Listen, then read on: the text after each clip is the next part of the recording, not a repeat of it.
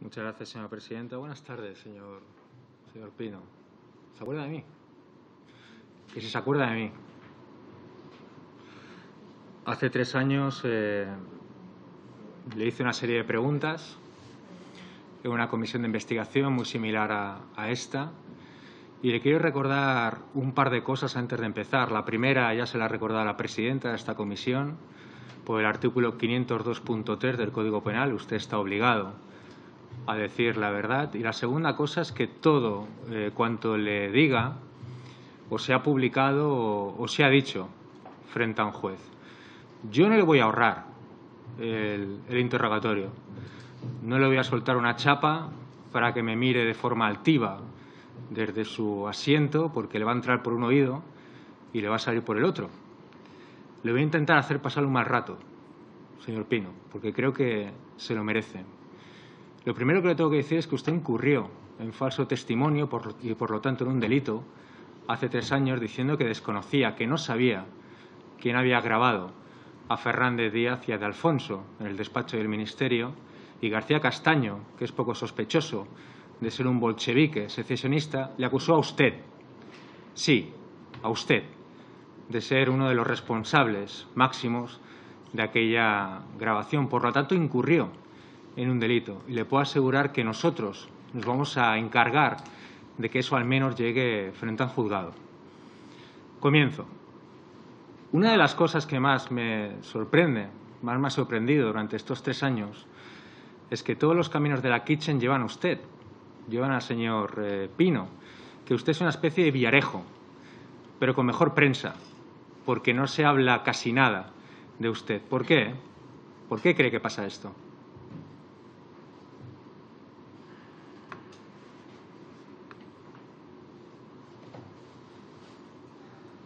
¿Que ¿Por qué cree que no se publica nada de usted?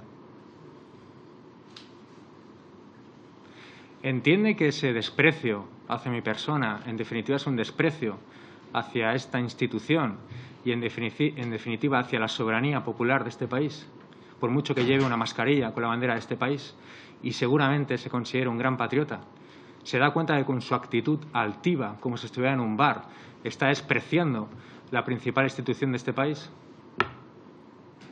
No, no, míreme, míreme a mí. Está hablando conmigo. Nada que decir, señoría. No tengo nada que decir. Esas son eh, apreciaciones subjetivas suyas y que vamos a hacerlo. Ya, ya le conocemos. ¿A mí?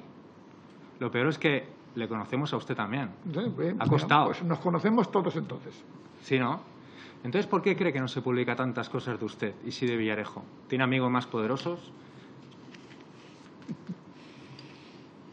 No, no, es que no. ¿Por qué? Usted ha mandado mucho en este país, señor Pino. ¿Cree que, cree que, cree que necesita la ayuda de la presidencia de la comisión de investigación? Usted se, se, se basta por sí solo, sobre todo con un Mindundi como yo. ¿No lo cree? Siguiente pregunta. Usted ha condecorado en este país hasta el apuntador. Y usted dijo frente al juez, literalmente, que le daba una medalla a todo aquel que aguantara la presión mediática. Eh, ¿Esto, ¿Esto cómo va? O sea, usted es un policía que aguanta... Es que no mire la presidencia, míreme a mí. Le estoy preguntando yo. Y ha mandado mucho en este país. No, no, no necesita el auxilio de la presidencia en la comisión. Le vuelvo a repetir, le vuelvo a preguntar. Eh, ¿Qué, es eso de que usted eh, condecoraba a policías que aguantaban la presión mediática? ¿Forma parte del trabajo de un policía aguantar la presión mediática? ¿Y por qué tenían esa presión mediática? Es extraño. Apréndase la norma de concesión de medallas, está usted muy equivocado. ¿Ah, sí? Entonces, ¿un policía que aguante la presión mediática merece una medalla? Apréndase la norma de la concesión de medallas en el Cuerpo Nacional de Policía, que está usted equivocado. No ha dado una. Llevo dos solo. Usted ha dado muchas, quizá demasiadas. Le vuelvo a preguntar, ¿un policía que aguanta la presión mediática merece una medalla en este país? Sin comentarios. Entiendo que sí. Tercera pregunta. ¿Por qué se lleva usted al señor Marocho Aladao en cuanto empiece a investigar la Gürtel? ¿Por qué? ¿Para controlarle? No, no mire la presidencia, míreme a Sin mí. comentarios. No, es que, señoría, mire usted, cuando yo voy a un juzgado y digo que no quiero declarar, no me hacen más preguntas. Y además el juez suele decir a los abogados de las partes y al fiscal que si no voy a declarar, no voy a declarar. Ya, pero no está frente a un juez, así que se aguanta. Le vuelvo a preguntar. Eh, señor Pino, he aclarado precisamente al inicio de la sesión, en cuanto ha intervenido el primero de los portavoces, que usted tiene derecho a preservar, y yo así lo hago, preservar su derecho a no contestar y a no declarar. Pero al mismo tiempo hay que guardar el equilibrio también para el derecho que tienen los grupos parlamentarios para, discúlpeme, para, desarrollar, discúlpeme, para desarrollar la intervención que corresponde a su turno de palabra siempre con el debido respeto que también le solicitó al señor Rufián con el compareciente. En definitiva, eh, tiene que tragar. Señor Pino, me tiene que aguantar durante un rato. Lo siento mucho porque Rufián, no está esos términos le agradecería también que si usted puede utilizar otros términos dentro del marco de la defensa de sus posiciones, que sin duda tiene usted eh, la posibilidad de hacer en los términos que usted sabe también hacer y también puede hacerlo. Le leo algo que, que se dijo en torno a Marocho. Coño, con todas las putadas que le hemos hecho, le vamos a dar una medalla. Esto dice que se lo dice a usted el jefe de la, de la UDED de la, de la época. ¿Qué tipo de putadas le hacían a Marocho?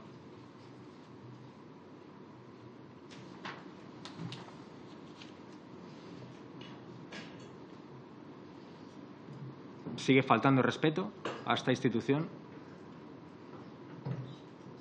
Continúe, señor Rufián, por favor. Siguiente pregunta.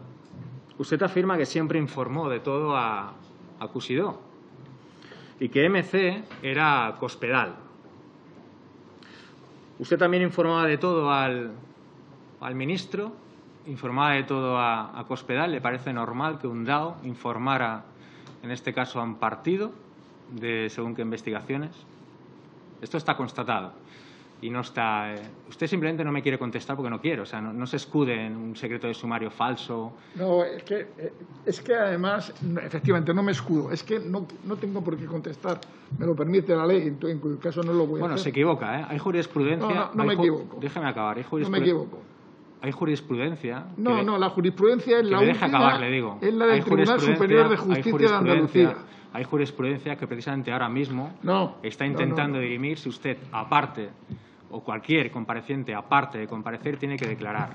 Mire, yo tengo en mi poder la normativa del Consejo General del Poder Judicial. No se vaya por las ramas. Eh, del ¿Usted por qué Superior de Justicia de Andalucía. ¿Por qué informar al Partido Popular de investigaciones sobre la corrupción? El debate al objeto no tiene sentido. El compareciente no tiene por qué justificar el derecho al que se acoge y el señor Rufián puede desarrollar su intervención en los términos en que no se vulnere ese derecho. El compareciente no tiene por qué justificarlo, señor Rufián. Le agradecería que continuaran con el desarrollo del eh, turno de intervención de su grupo, señor Rufián. Gracias. Siguiente pregunta. Leo. Hemos hecho operaciones que nos pondrían los pelos de punta por el interés de España. Esto se lo dice usted eh, al juez, ¿sí o no? ¿Ese asentimiento es que sí? No voy a contestar. Es que sí. se lo dijo el juez, ¿no? Pues ya está. Pues entonces es absurdo que digan no ya, como pues está personado, pues ya. lo sabe todo. Entonces, ¿por qué me lo pregunta? Entonces, le vuelvo a repetir la misma pregunta que le hice hace tres años. ¿Se considera usted un patriota? Sin duda, sí. ¿Y haría todo por España? Todo por España. ¿Y, y qué, son las, qué tipo de operaciones nos pondrían los pelos de punta? Sin comentarios. ¿Y usted cree que ser un patriota, hacer todo por España, y hacer todo es todo, señor Pino? Hacer todo es todo. Todo. Más allá de la ley. En ese caso, seguramente la ley no existiría cuando si tuviéramos que hacer todo por España. ¿Puede explayarse en torno a esto, por favor? ¿Eh? Que si no nos lo puede explicar esto no, acaba de decir. Sin comentario realmente sí ponen los pelos de punta. García Castaño miente cuando dice que usted estaba al tanto de todo y que daba las órdenes. ¿Qué opina de García Castaño? No voy a declarar. Me da que no muy bueno. No opina cosas buenas de García Castaño, ¿es así? Míreme a mí.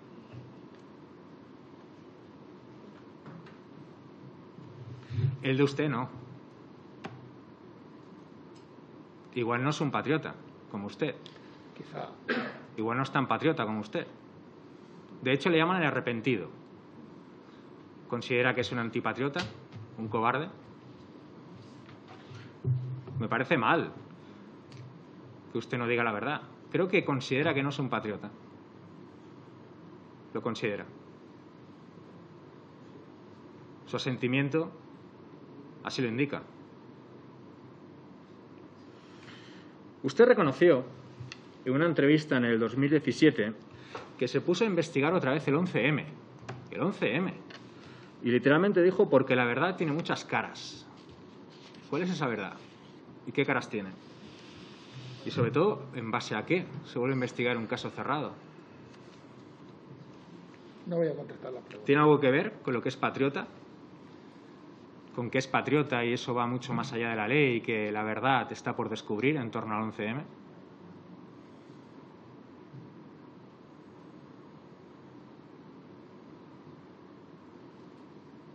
Yo creo que sí. Creo que tiene un montón de ganas de decir que sí. ¿A que sí? Yo informé a la Casa Real de la existencia de cintas de Corina. El emérito es el bien a proteger. Esta es una frase interceptada entre usted y Francisco Martínez. ¿Por qué se chivaba de las investigaciones al Partido Popular? En este caso al Ministerio de Interior. No, no mire. Ya le he dicho que no voy a declarar, no sé por qué lo hace usted la pregunta. Para no ahorrárselo. Hable genéricamente sobre lo que usted opina, pero no me haga la pregunta porque no la voy a contestar. Pero entiende que yo pueda, en- entiende que mi trabajo es preguntarle sobre cosas, sobre Sí. enormes corruptelas. ya sobre- le he dicho que no voy a declarar, es una falta de respeto. Perdone. Sí, sí, sí, sí. sí. Per- perdone. Per- perdone, pero, per- pero diría que aquí el que está faltando respeto No, no, no, soy voy a- yo. no voy a declarar nada. Ya, En caso, pero- ¿qué es lo que tengo Ya, que decir para que no pero me haga preguntas? No, es que ya le, ya, le ya le he preguntado que no se lo voy a ahorrar. Entonces le voy a seguir preguntando hasta, hasta que se me acabe el tiempo. Y esto es interesante, porque si usted es tan patriota, ¿por qué se chiva de investigaciones a, a un partido político? O quizá no lo hacía. Quizá, quizá yo estoy siendo muy injusto, señor Pino. Y quizá us- usted es una especie de Leon Ness, James Bond, Bohr, un agente que nos ha salvado de un montón de cosas en este país y yo soy un sinvergüenza que no tengo ni idea y le estoy preguntando de cosas, de falsedades, de la prensa roja y separatista y usted es un, es un campeón. Entonces, dígame, dígame la verdad. ¿Esto es así? ¿Usted se chivaba al secretario de Estado?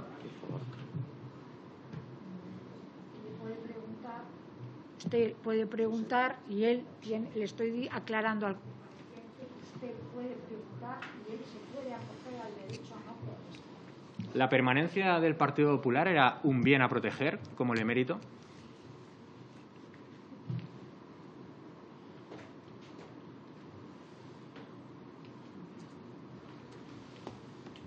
Míreme a mí. La Casa, su número dos, dijo en esta comisión que usted se reunía con Villarejo y que luego le pedían a él el dinero, dinero de fondos reservados para, para investigaciones, para misiones, entre comillas. ¿Esto es así? Va, señor Pino, respóndame. Son misiones por España. ¿Quién daba lo que a ese, a ese dinero? Seguramente ha salvado usted muchas cosas gracias a eso. ¿Es así? ¿No? ¿Quién lo hacía entonces?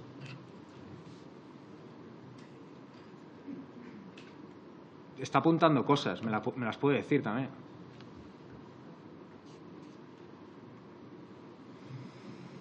¿Quiénes son los habituales de Pino? No le he oído. ¿Que quiénes son los habituales de Pino? Los habituales de Pino, lo dice el juez. ¿Que quiénes son? Hay una camarilla que llaman los habituales de Pino. Le doy una pista. Villarejo, García Castaño, Gómez Gordo, Bonifacio Díaz, Fuentes Gago, son sus eh, habituales y a qué se dedicaban. Se lo pregunto como ciudadano, porque esto al final se financiaba con dinero público. Si es que al final igual patriota soy yo, porque me, preocupa, me preocupo de dinero público. Yo igual no llevo una, una bandera, eh, la mascarilla, ni una pulserita, ni me escandalizo porque alguien hable como la gente de la calle. Pero me parece que es mucho más patriota preocuparse por dónde va o a dónde va el dinero público de la gente. Vote a quien vote. Entonces usted manejó muchísimo dinero público. Le estoy preguntando qué pasó con él, qué hizo y sobre todo esos habituales de Pino, ¿qué hacían con ese dinero?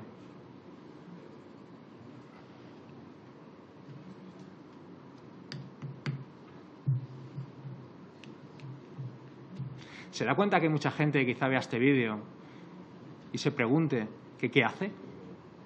No respondiendo.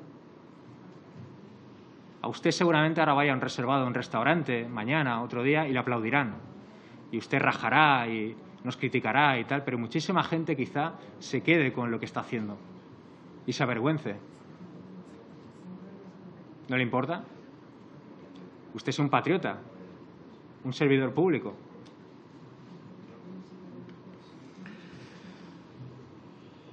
Acabo, señora presidenta. En el Ministerio hay salas en las que se agrava todo. Esto me lo dijo a mí mismo García Castaño. Y dijo en esta misma comisión que usted había sido el encargado de la grabación entre Fernández Díaz y, y de Alfonso. ¿Me lo puedo explicar?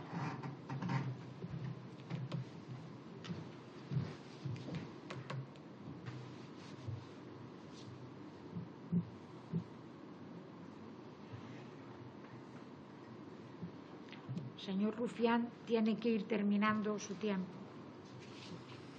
Señor Pino, usted no es un patriota. Usted es una rémora para este país. Muchas gracias. Gracias, señor Rufián. Por el Grupo Parlamentario